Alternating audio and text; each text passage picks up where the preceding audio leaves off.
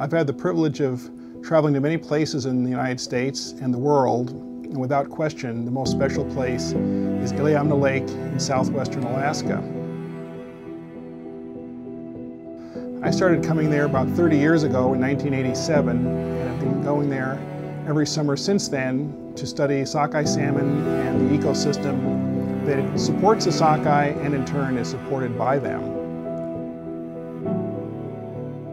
It's without doubt the largest lake in the United States in a fully natural form with a native fish community operating as an intact ecosystem and a rare opportunity for us as scientists to see a fully functioning system.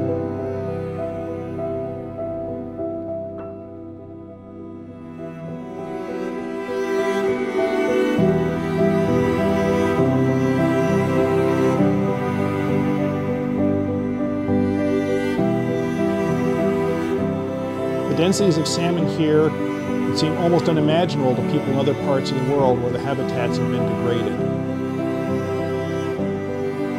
In addition to the many rivers and streams around Iliamna Lake where sockeye salmon spawn, there are also rocky beaches on islands where the salmon spawn in great numbers.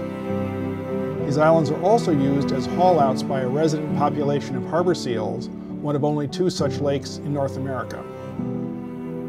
Fortunately, with credit to the local native corporations and with help from the Conservation Fund and Bristol Bay Heritage Land Trust, these islands are now protected under a conservation easement.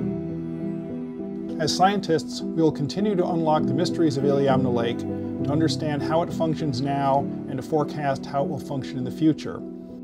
It is stunningly beautiful and worth preserving forever.